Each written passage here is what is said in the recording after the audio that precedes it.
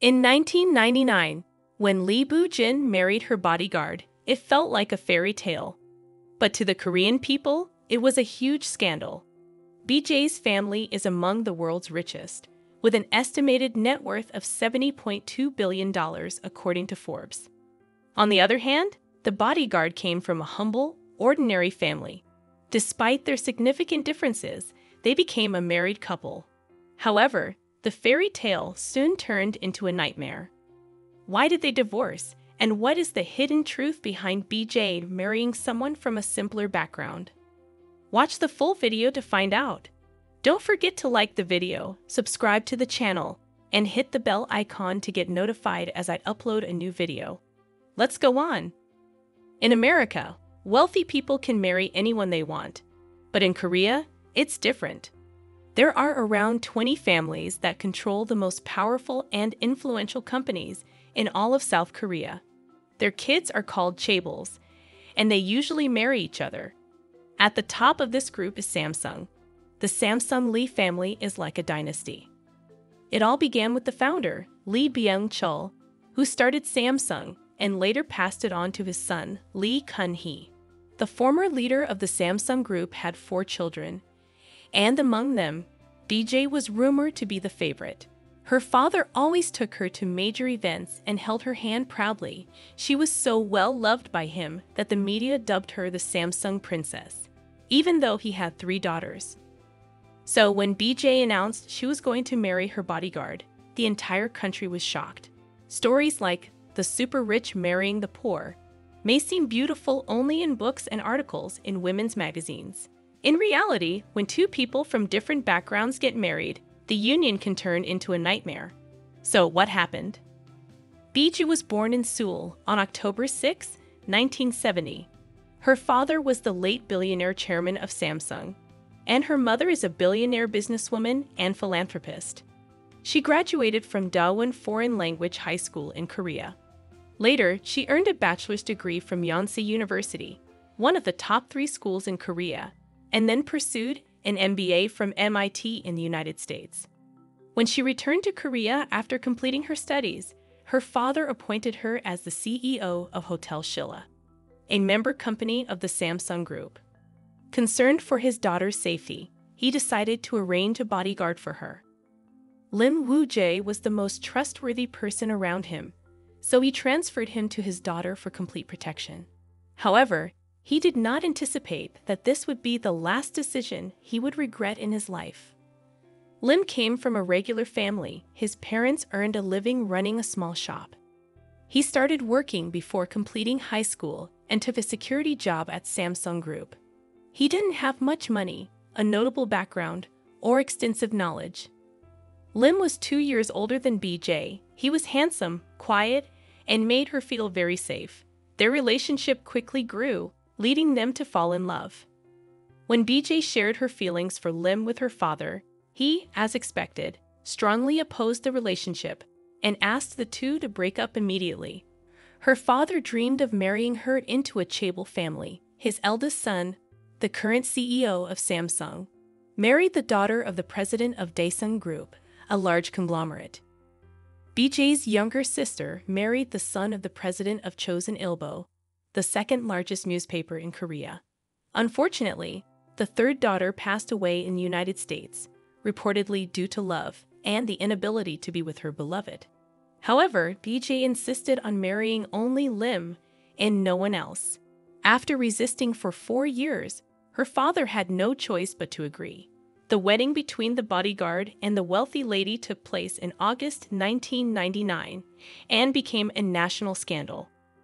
The wedding not only captured the attention of the business community, but also the general public, as their union was seen as a modern day fairy tale. Lim was quickly nicknamed Mr. Cinderella by the press due to his ordinary background. Following the marriage, he no longer had to work as a bodyguard and was sent abroad to MIT for further education. Lim initially thought that being rich meant doing whatever you wanted with money and enjoying it. But now he had to focus on studying, and he struggled with it. In the US, he became annoyed and frustrated, eventually breaking down and spending most of his time playing video games and reading in bed. he barely managed to focus on his studies. Later on, he revealed that he had tried to exit his life twice during this difficult period. Since he struggled to understand his studies, BJ's father had to bring him back to Korea and directly appointed him as vice president of Samsung Motor. However, Lim lacked basic business knowledge, was very inexperienced, and wasn't suitable for this position.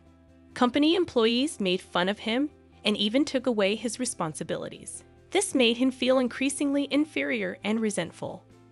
His anger grew, feeling that the Lee family always looked down on him, and unfortunately, he directed this frustration towards his wife. Lim would start drinking, and at one point, he even became physically aggressive towards BJ despite being pregnant. She never told her family due to the embarrassment it would cause, and never went to the police to avoid a scandal for the company.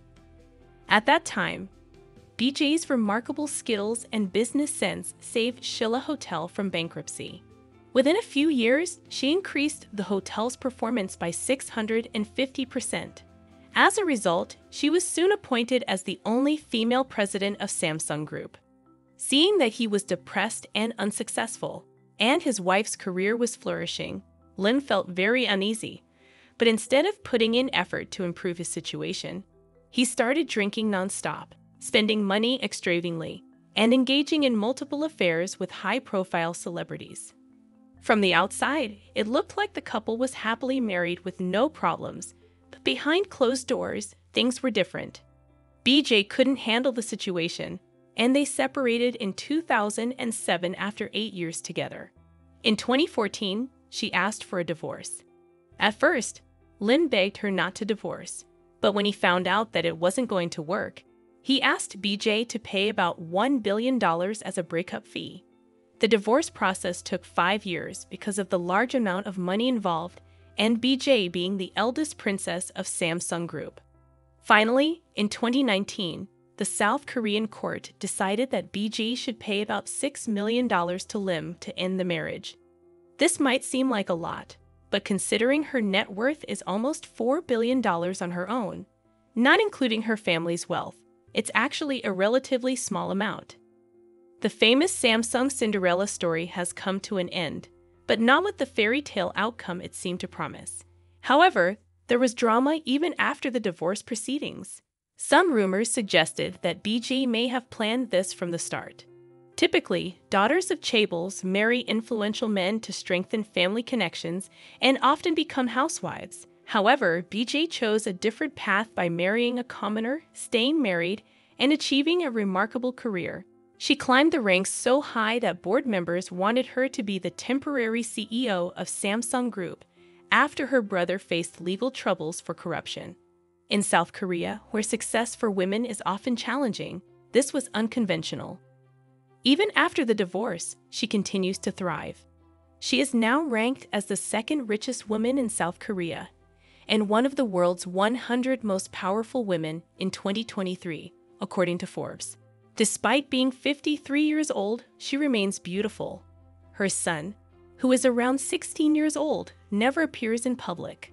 This story highlights that fairy tales only exist in books. Reality can be tough.